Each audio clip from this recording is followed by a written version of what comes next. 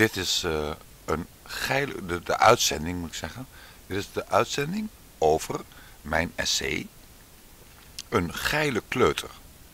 En dan zitten we op pagina 5. En dan ga ik een beetje heel gedoe altijd hoor, voordat ik het allemaal goed heb. Maar oh, oh, oh, wat een gezeur. Met hier gaat het over. Een geile kleuter. Ken je dat begrip? Ja, ik wel. Ik heb een kind gehad en het wilde echt leven. Die schopte in de buik van zijn moeder.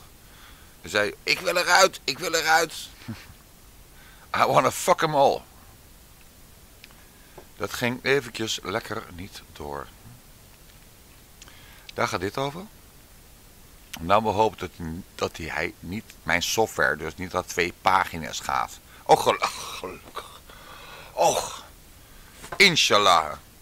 Vanavond was ik dus weer eens in de kroeg, omdat ik nooit iets beters te doen heb dan in de kroeg te zitten. En er was een man en die wenste mij uh, de dood toe. Die zei, pleeg toch uh, de vrijwillige doodman en zit niet zo te zeuren.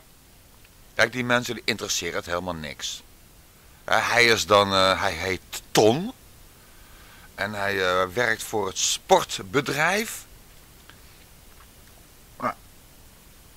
Voor de overheid. En hij vindt gewoon, uh, Winkel, als jij lopen zeiken over het feit dat er een kind van jou vermoord is, moet je je bek houden en gewoon doodgaan. Je moet accepteren dat er gewoon kinderen worden vermoord. En voor de rest moet je je bek houden en je moet aan de slag. Ja? ja die katholieken, die kunnen me echt mijn reet op, hè. Je mag wel GVD... Oh, eh, oh, oh, fuck. Dan zeg ik het weer fout.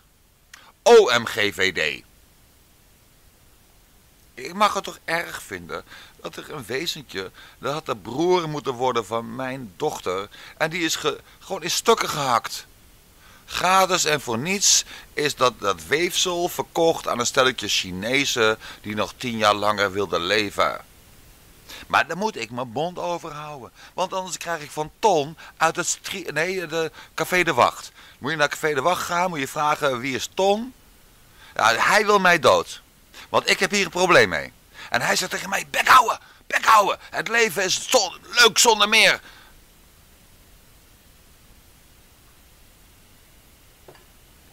Dus ik moet dood van hem. Ah, oké, maar ik ben dus niet dood. Hij moet gewoon zijn geld stoppen waar zijn mond is zoals de Engelsen zeggen, put your money where your mouth is. Hij had me gewoon uh, tegen de kei aan moeten smijten en me moeten onthoofden. Of met een Walter P22 voor mijn kop moeten schieten. Maar hij gaat niet aan mij vragen, Perry, zou je alsjeblieft zelfmoord willen plegen? Want dat bepaal ik zelf wel. Het is een goed begrip. Uh, gaat mee niet lopen of zeker? En dan stel ik je tuig hier in Arnhem. Geen respect voor het levende. En dat wandelt maar een beetje door als een stelletje...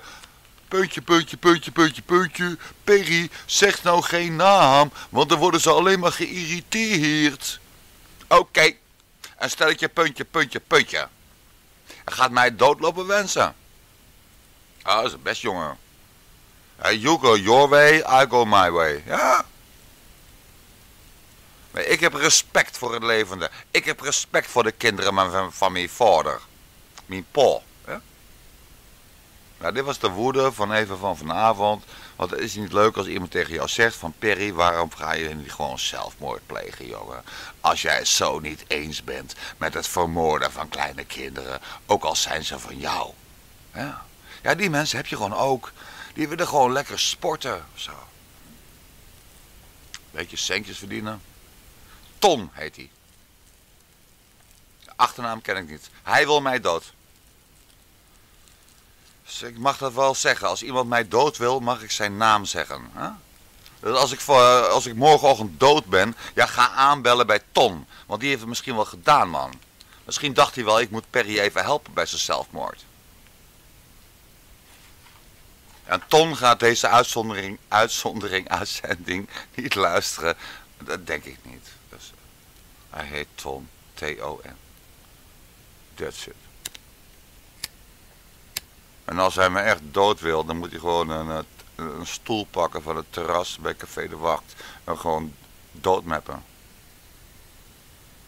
Maar niet lopen dreigen. Of praat gewoon niet met mij. Vind ik ook goed. Meid mij. Shun mij. Maar niet zeiken tegen mij. Ga mij niet vertellen dat het, dat het leuk is dat je kind wordt ge, gechopt, chop, chop, chop, chopt. En hij geint erom met je hoor. Hij, hij heeft zoiets van, ah dat maakt allemaal niet uit man.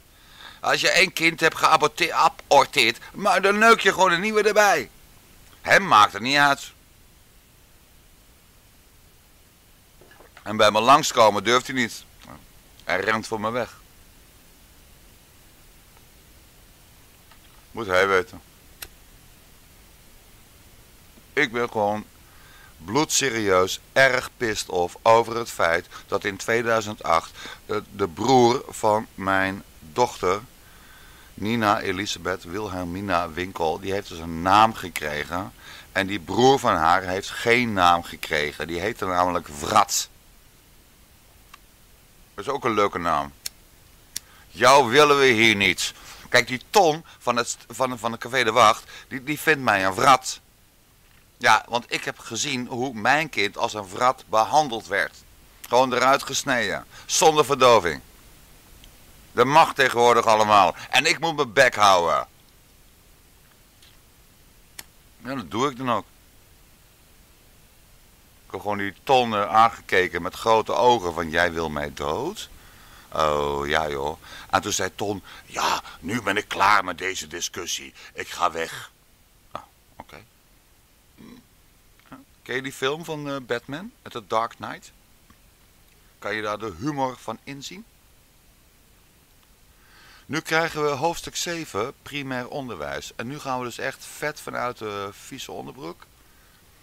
Want dit wordt echt smerig. Dus, uh, hebben jullie rooibos thee in de buurt? En moet u nog even opgezet worden? Nou, dan moet je nu even op de pauzeknop drukken. Rooibos thee pakken.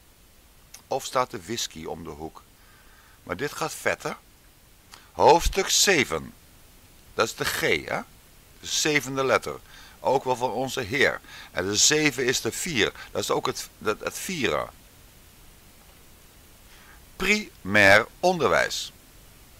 Net als mijn dochter wilde hij, mijn ongeboren zoon, toen hij op het primair onderwijs zat, eventjes terug naar het kinderdagverblijf.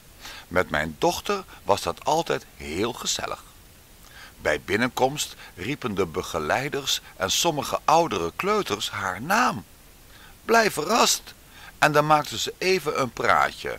Ik wacht dan wel even hoor.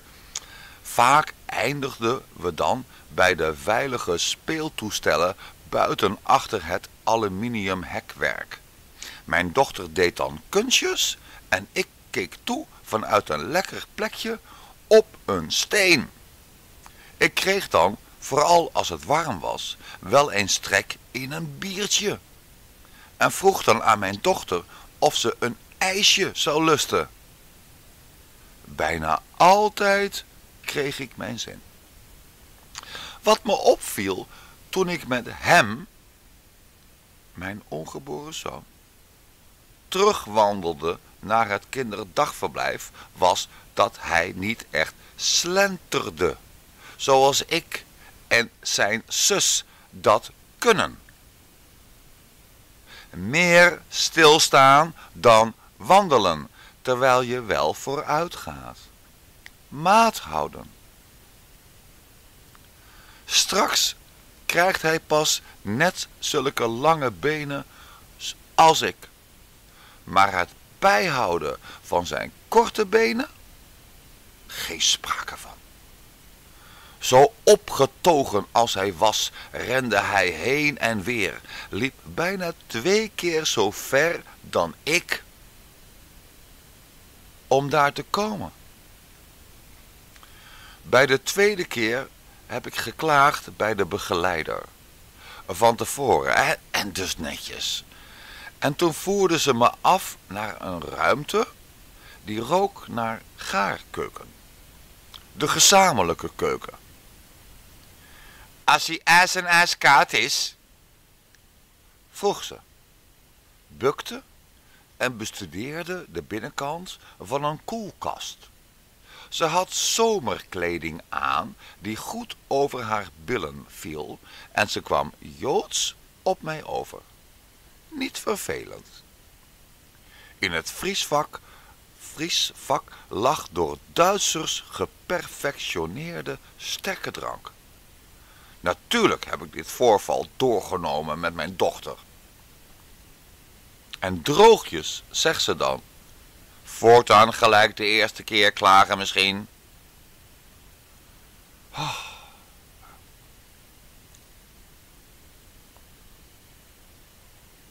Het is erg hoor. En waar het op neerkomt, voordat we naar hoofdstuk 8 gaan, dit is weer een regel. Hè? Regel, punt. Huilen als een baby kan en mag een baby niet verleren. Ik ga verder door me voorlezen, ik ga ze dadelijk bespreken. Misschien was die eerste, ik lees het voor. Misschien was die eerste keer ook niet zo erg. Ik voelde me alleen zo alleen. Een soort taxichauffeur zonder auto en wel met een alcoholontzegging en een rookverbod. De begeleider knikte alleen af en toe tegen mij en bood mij en de kleuters een soepstengel met een lik pindakaas aan. Punt 1. Qua anders is dat de naam van mijn zoon bij binnenkomst niet genoemd werd. Hij zei tegen mij iets van okidoki en plofte neer op zo'n lekkere, zachte en toch stevige mat. Nu moet je opletten, zei de leider glimlachend. Het volgende moment ploften er minimaal vijf meisjes naast hem en een aantal jongetjes namen beleefd plaats aan de rand. Vanaf dat moment heeft hij mij tientallen minuten totaal genegeerd het duurde zo lang dat de leider naar me toe kwam en voorstelde dat ik buiten zou kunnen gaan roken. Ik had helemaal geen zin om te gaan roken op dat moment en wist me geen houding te geven. Mijn dochter vertelde me heel blij dat mijn zoon het beide keren hartstikke leuk gevonden heeft. Geen gezoen door haar dit keer. Win-win situatie. Toen ik mijn zoon vroeg of hij nog een derde keer zo'n vereerd bezoekje aan het kinderdagverblijf wilde brengen, zei hij nee. Twee is sexy volgens hem. Drie is gezeur. Leuk is dat. Dat is een mooi stukje. Gaat natuurlijk allemaal over de waarheid die hierin zit. Dat uh, het kinderdagverblijf waar mijn kind, wat dus wel gewoon een naam gekregen heeft, daar hadden ze gewoon dit. Soepstengels met pindakaas. Gewoon, oh, dat is zo'n virus middags. Ik kwam om vijf uur en mijn dochter had, gewoon lekkere die pindakaasvlekken op de mond of zo. En die kinderen blij, joh. Echt leuk. Dat is allemaal waar. En die regel, is natuurlijk ook waar. Ga hier maar op studeren. Ik huil momenteel als een baby vanwege het feit dat een kind van mij is gechopt zonder verdoving. Die Molukkers die waren kwaad. En die hebben toen een trein gekaapt. En als ze mij destijds met, de wijsheid van nu, niet toen ik zo, ik was toen 16 of nee, was, ja, 15, 16. Maar nu ben ik bijna 60. Als die Molukkers mij nu gevraagd hadden, jongen, dan hadden we heel Nederland platgelegd.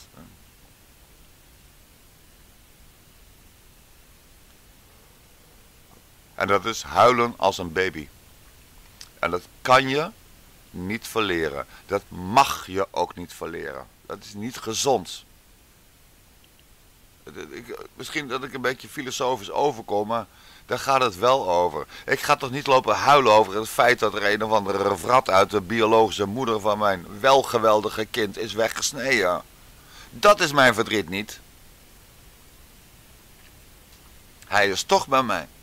Want ik weet dat hij bij mij wilde wonen. Ik weet dat hij dat wilde. Of dat God wilde dat hij dat wilde. Dat weet ik. Dat is niet gelukt vanwege die biomo van zijn zus. Hij had een betere biomo uit moeten kiezen. Ja, hij wilde ook mij, denk ik. En wat moet je dan? Ik heb alleen maar die biomo die denkt, oké, weghalen die vrat. Cut the crap.